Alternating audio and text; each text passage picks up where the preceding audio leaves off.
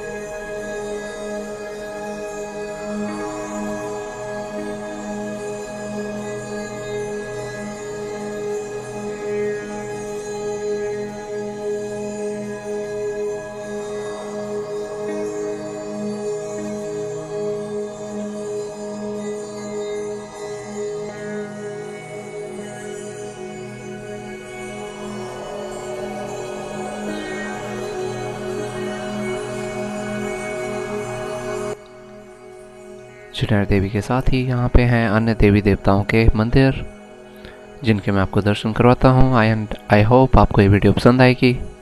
पसंद आए तो लाइक करें एंड सब्सक्राइब करें मेरे चैनल ताकि हिमाचल के बारे में आप और भी अच्छी अच्छी जगहों की वीडियोस देख सकें।